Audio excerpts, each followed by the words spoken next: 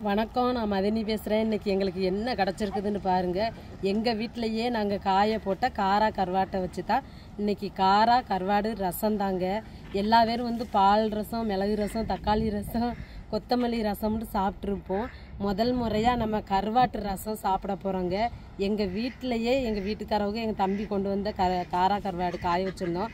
பேர்வாதி எங்கள் மதினிக்கு கொடுத்துட்டோம். பேர்வாதி நாங்கள் வச்சு இன்னைக்கு தான் கருவாட்டு ரசம் வைக்க போகிறாங்க அதுக்கு தேவையான பொருள்களை என்னென்னு நான் சொல்லிடுறேன். நம்மளுக்கு முதல்ல தேவை கருவாட்டு ரசத்துக்கு முதல்ல கருவாடு எடுத்திருக்கேன் பாருங்க. காரா கருவாடு. அதுக்கப்புறம் வத்தல் தக்காளி சீரக மிளகு பூண்டு கருவேப்பிலை மல்லித்தழை வெந்தயம் கடுகு மஞ்சத்தூள் வத்தத்தூள் பெருங்காயம் பொடிங்க. இது தாங்க ரசத்துக்கு தேவையான பொருளுங்க. இப்போ நம்ம கருவாட்டை வெட்டி க்ளீன் பண்ணி எடுத்துக்கிருவோம். நம்ம எலுமிச்சம்பழம் சைஸில் நான் புளி கொஞ்சம் எடுத்து ஊற போட்டிருக்கேன். இது நல்லா ஊறட்டுங்க. இப்போ நம்ம கருவாட்டை வெட்டி எடுத்துக்கிருவோம். அந்த முல்லை ஃபுல்லாக க்ளீன் பண்ணணும். இப்போ நம்ம ஒவ்வொரு கருவாடை எடுத்து காரா கருவாடை சைட்டில் முள் இருக்குங்க. இந்த முல்லை வந்து இப்படி வெட்டி எடுத்துக்கிறேன்னு ரெண்டு சைடுமே இருக்கும். நான் வந்து காய புடச்சில வந்து தலைப்பகுதியை வெட்டிட்டு தாங்க நாங்கள் உப்பில் வச்சு காய போட்டிருக்குறோம். நீங்கள் தலைப்பகுதியோட போட்டு கூட நீங்கள் கருவாட்டு ரசம் பண்ணி சாப்பிடலாம். ரொம்ப நல்லதுங்க. கருவாடு கடை இது காரம் கிடச்சிச்சுன்னா யாரும் விட்டுறாதீங்க. கண்டிப்பாக வாங்கி நல்லா சமைச்சு கொடுங்க.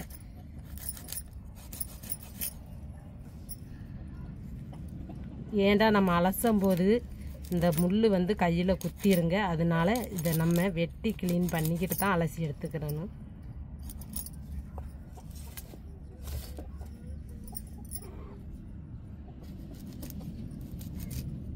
இப்போ பாருங்கள் நம்ம முள் தனியாக வால் தனியாக எடுத்தாச்சு. பாட்டை வந்து நம்ம தண்ணியில் போட்டு அலசி எடுத்துக்கிடுவோம்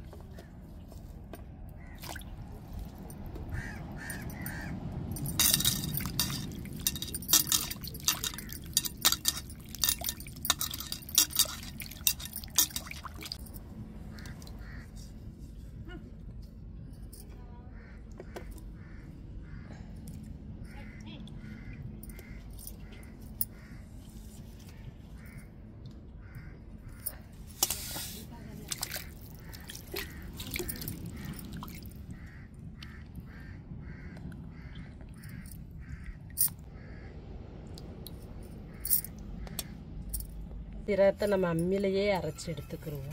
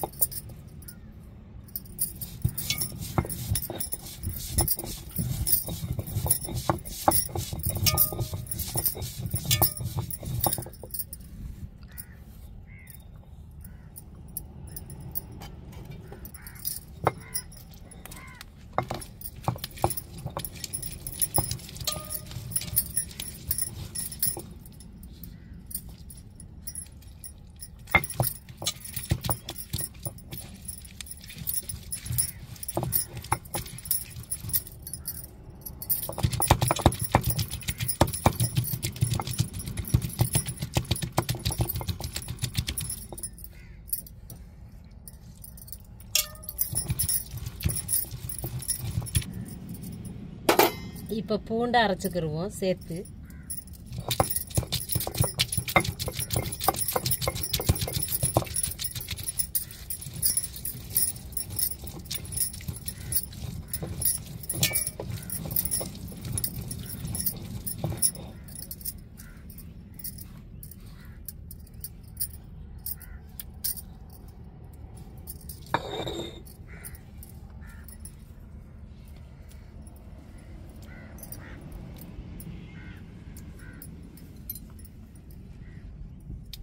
நம்ம கருவாட்டு ரசத்துக்கு தேவையான பொருட்களை அரைச்சி எடுத்துக்கிட்டோம்.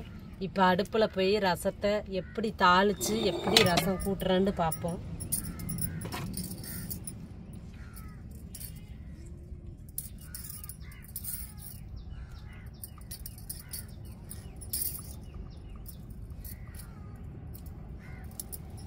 இப்போ மல்லி இலையை நம்ம தாளிப்பில் வந்து அந்த மிளகு சீரகத்தோட தான் தே தாளித்து ரெண்டையும் மிக்ஸ் பண்ணி தான் போட போகிறோம் ஏன்னா அம்மிலேயே நச்சே அள்ளிடுவோங்க நீங்கள் முழுசாக அப்படியே ரசத்துக்குள்ளே போடுறதா இருந்தால் நீங்கள் வெட் கட் பண்ணி போட்டுக்கோங்க பொடிசு பொடிசா. நான் நச்சே எடுத்துட்டேங்க.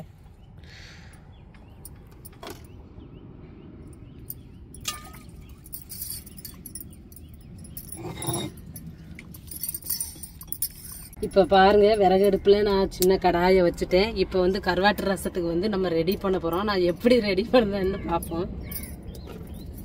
இப்போ வந்து நான் தாளிப்புக்கு வந்து ஒரு அரை ஸ்பூன் வெந்தயமும் ஒரு ஸ்காப்பூன் கடுகும் எடுத்து வச்சிருக்கேன். ரெண்டையும் சேர்த்துருவோங்க.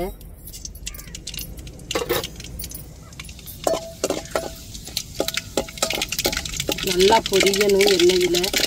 கடுகு வெந்தயமும். இப்போ வத்தல் சேர்த்துக்கிருவோம்.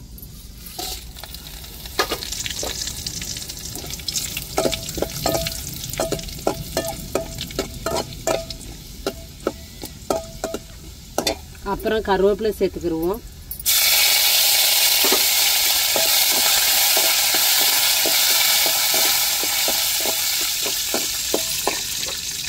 வத்தல் பொடி காப்புன்னு மஞ்சள் காப்புன்னு எடுத்துருக்கிறேன். இப்போ சேர்த்துக்கிருவோங்க தாளிப்போட. இப்போ வந்து நம்ம அம்மிலேயே அரைச்சி எடுத்த மசாலாவுகளை சேர்த்துக்கிருவோம்.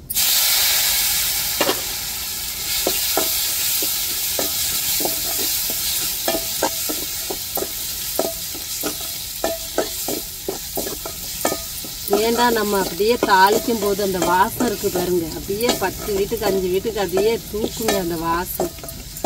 எல்லாரும் கேட்பாங்க நம்ம குழம்பு வச்சுட்டு வெளியே போனோம்டா யார் வீட்டிலமா இந்த மனம் மணக்குதுன்னு கேட்பாங்க. நான் சொல்லுவேன் நான் தான் எங்கள் வீட்டில் வச்சோம் அப்படின்னு ரசம் வாட அந்த வா மனம் மணக்குதேன்னு சொல்லுவாங்க. நம்ம பூண்டை வந்து நச்சு அந்த எண்ணெயோட பொரிக்கும் போது போட்டு அந்த வாசம் பாருங்க. வாசம் போய் மூக்க தொலைக்குங்க. அதனால கேட்டுருவாங்க அக்க பக்கத்தில் உள்ளவங்க. இப்போ நல்லா வதக்கி விட்டுக்கிறவங்க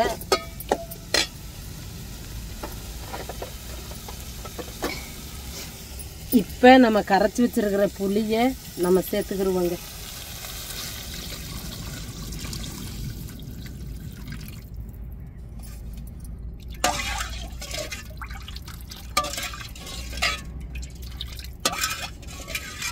நம்மளுக்கு ரசத்துக்கு தேவையான அளவு தண்ணி இன்னும் கொஞ்சம் சேர்த்துக்கிடுவோங்க. அப்புறம் காயப்பொடி போட்டுக்கிருவோங்க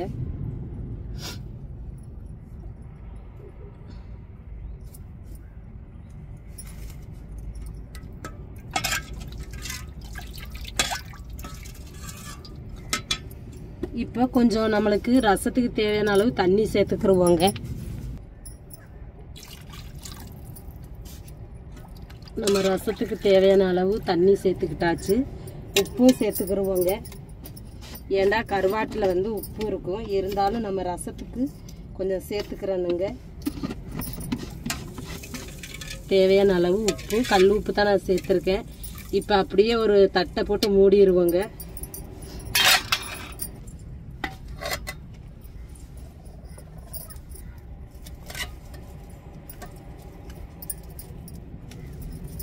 நம்ம வந்து மிளகு ரசம் பால் ரசம்லாம் முறக்குடி வரையிலேயே நம்ம இறக்கிருவோங்க. ஏன்டா கருவாட்டு ரசம்னால நம்ம அந்த ரசம் கொதிச்சதுக்கு அப்புறம் ஏன்டா நம்ம கருவாட்டை வந்து சேர்க்க போறோங்க.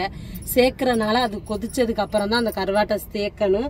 அது ஒரு ரெண்டு கொதி கொதிச்சதுக்கு அப்புறம் நம்ம இறக்கி வச்சு அந்த ஆள ரசத்தை சாதத்துல ஊத்தி கருவாட்டு ரசத்தை அப்படியே சாப்பிட்டோம்னா அந்த வாசத்துக்கும் சாதத்துக்கும் ரொம்ப சூப்பரா இருக்குங்க. ஆனா உடம்புல உள்ள சளி இருமலையெல்லாம் கண்டிப்பா இந்த கருவாட்டு ரசம் குணப்படுத்துங்க. நெஸ்- நீங்கள் நான் போய் நான் சொல்லட்டாலும் நீங்கள் நிஜமாவே ஒரு முறை ட்ரை பண்ணி பாருங்கள் இதே கருவாட்டு ரசம் வச்சு உண்மையிலேயே அது நல்லா குணப்படுத்துங்க. ஏன்டா அடிக்கடி எங்கள் அம்மா மழை டயத்துலலாம் இந்த கருவாட்டு ரசம் செஞ்சு தருவாங்க. அதே மாதிரி நீங்களும் உங்கள் வீட்டில் ட்ரை பண்ணி சாப்பிட்டு பாருங்கள் சாப்பிட்டு டேஸ்ட் எப்படி இருக்குன்னு மறக்காமல் கமெண்டில் சொல்லுங்கள் கொதிப்பு வரும் கம்ம கம்மண்டு வாசம் வருதுங்க. தட்டை திறந்து பாப்போங்க எப்படி ஒரு வாசத்தை பாருங்க. பாருங்க. நல்லா கம்ம கம்மண்டு வாசத்தோட வந்துருச்சு. இப்ப நம்ம அலசி வச்சிருக்க கருவாட்டை ரசத்துக்குள்ள சேர்த்துருவோங்க. இதாங்க கருவாட்டு ரசம்.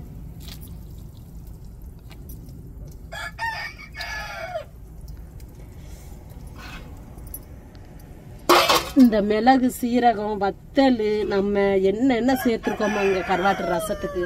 அதில் உள்ள காரம் உரப்பு உப்பு எல்லாமே அந்த கருவாட்டு சாறுக்குள்ள இறங்கி அந்த கருவாட்டுல உள்ள சாறு அந்த ரசத்தோட சேரும்போது நம்மளுக்கு வந்து இன்னும் டேஸ்ட் அதிகமாக கொடுக்குங்க.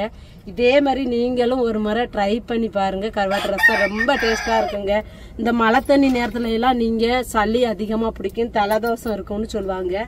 இந்த மாதிரி நீங்க ட்ரை பண்ணி கருவாட்டு ரசம் வச்சு சாதத்துல வச்சு சாப்பிட்டு பாருங்க.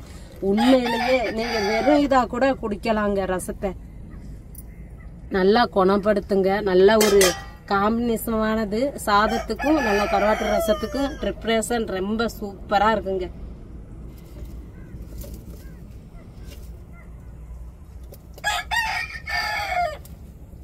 நல்லா கொதிக்கட்டுங்க. நம்ம மிளகு ரசம் பால் ரசம் தக்காளி ரசம் வைக்கும்போது முறை கூடி வந்த உடனே நம்ம இறக்கிடுவோம் ஆனால் நம்ம கருவாட்டு ரசத்துக்கு நல்லா கொதிக்க விட்டா தாங்க அந்த காரச்சாரம்லாம் இறங்கி அந்த கருவாட்டில் பிடிச்சி நல்ல ஒரு ருசியும் நல்ல ஒரு டேஸ்டான நம்மளுக்கு கருவாட்டு ரசம் ரெடி ஆகிருங்க. டக்குன்னு ஈஸியான வேலை தாங்க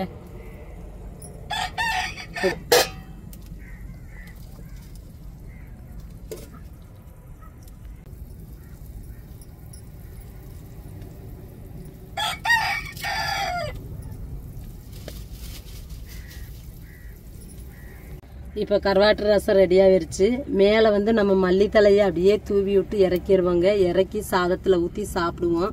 சாப்பிட்டு டேஸ்ட் எப்படி இருக்குன்னு சொல்கிறேன்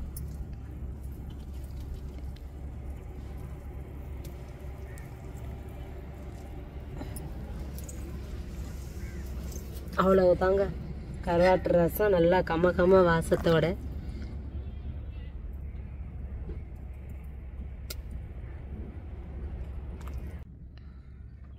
இப்போ காரா கருவாட்டு ரசம் ரெடி ஆகிருச்சு நான் ஊற்றி சாப்பிட்டுட்டு டேஸ்ட் எப்படி இருக்குன்னு சொல்லிடுறேன்.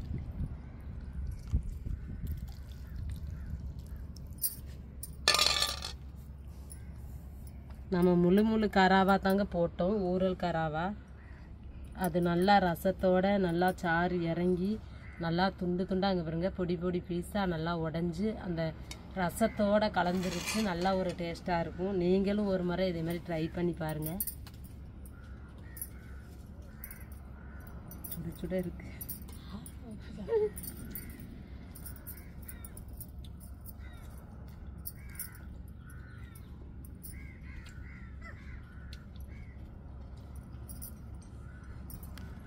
உண்மையிலேயே அப்படியே நாக்கில் எச்சி தாங்க ஊறுது. நல்ல ஒரு ரசம் நல்ல ஒரு ருசியாக டேஸ்ட்டாக அந்த உப்பு காரச்சாரம்லாம் அந்த ரசத்தோடு இறங்கி அந்த சாதத்தில் ஊற்றி சாப்பிடும்போது செம சூப்பராக இருக்குதுங்க. ஆனால் சுட சுட இருக்குதுங்க. ரசம் கொதிக்க கொதிக்க இருக்கு.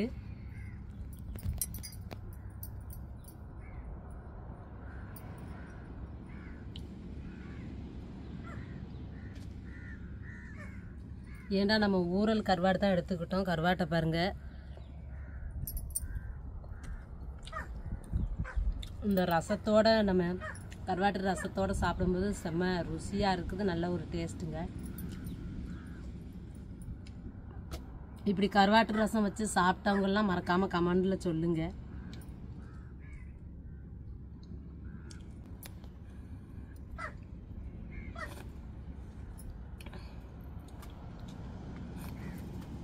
அந்த சாதத்தில் ஊற்றி இந்த ரசத்தை குடிக்கும்போது ருசியாக இருக்குதுங்க.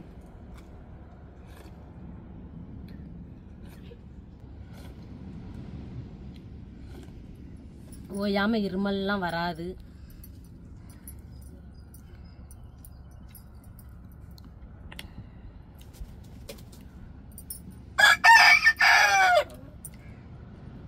நம்ம சாதத்தில் ஊற்றி சாப்பிட்றதோட ஒரு லோட்டாவை எடுத்து இந்த கருவாட்டு ரசத்தை தனியாக ஊற்றி சாப்பிட்டா தனி ருசி தாங்க அதுக்கு.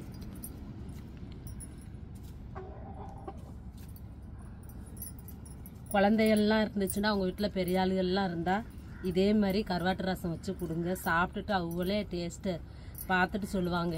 இன்னொரு நாள் இதே மாதிரி செஞ்சு தாங்கன்னு கேட்டுருவாங்க.